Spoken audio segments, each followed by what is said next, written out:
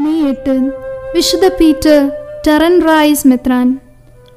മോൺസ്റ്റിയേഴ്സ് രൂപതയുടെ മെത്രാനായിരുന്ന പീറ്റർ ആയിരത്തി ഒരുന്നൂറ്റി രണ്ടിൽ ഡോഫിനേയിൽ ഭൂജാതനായി. ഇരുപതാമത്തെ വയസ്സിൽ സിസ്റ്റേഴ്സ്യൻ സഭയിൽ ചേർന്നു. സ്വന്തം കുരിശ് വഹിച്ച് ക്രൂശിതനെ അനുഗമിക്കാൻ കടന്നു വന്ന അദ്ദേഹം സഭയിലെ കടുത്ത തപോനിഷ്ഠകൾ അനുഷ്ഠിക്കാനും രാത്രിയുടെ യാമങ്ങളിൽ ദൈവത്തെ വിളിച്ചപേക്ഷിക്കാനും പ്രഭാതം വരെ ഉണർന്ന് പ്രാർത്ഥിക്കാനും അദ്ദേഹത്തിന് ദൈവാനുഗ്രഹത്താൽ സാധിച്ചു.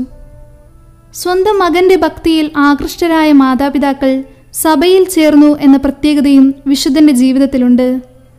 സദാ ധ്യാനനിരതനായ അദ്ദേഹം തന്റെ ഓരോ പ്രവൃത്തികളും ദൈവ സാന്നിധ്യ സ്മരണ കാത്തു സൂക്ഷിച്ചിരുന്നു. ആത്മീയവും ഭൗതികവുമായ ജീവിത രീതികളിൽ ദൈവവചനത്തിനനുസൃതമായ ലാളിത്യമാർന്ന ജീവിതശൈലി സ്വീകരിച്ചു പോന്നു.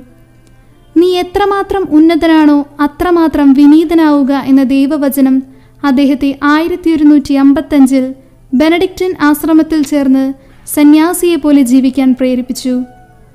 രൂപതക്കാർ തിരിച്ചു വിളിച്ച അദ്ദേഹത്തിന്റെ പിന്നീടുള്ള ജീവിതം ദൈവനിയോഗാർത്ഥം ദൈവനീതിക്കെതിരെയുള്ള പ്രവർത്തികൾക്ക് നേരെയുള്ള പോരാട്ടമായിരുന്നു. വൃദ്ധനും ക്ഷീണിതനുമായിരുന്നിട്ടും അദ്ദേഹം തളർന്നില്ല. ഇംഗ്ലണ്ടിൽ വെച്ച് ജനങ്ങൾ അദ്ദേഹത്തിന്റെ വസ്ത്രവും അരക്കെട്ടും അത്ഭുതങ്ങൾ പ്രവർത്തിക്കാൻ അപഹരിച്ചെടുത്തു. സ്വന്തം കരങ്ങൾ ദൈവത്തിന് അത്ഭുതങ്ങൾ പ്രവർത്തിക്കാനുള്ള ഉപകരണമാക്കി സമർപ്പിച്ച വിശുദ്ധൻ എഴുപത്തിമൂന്നാം വയസ്സിൽ നിര്യാതനായി.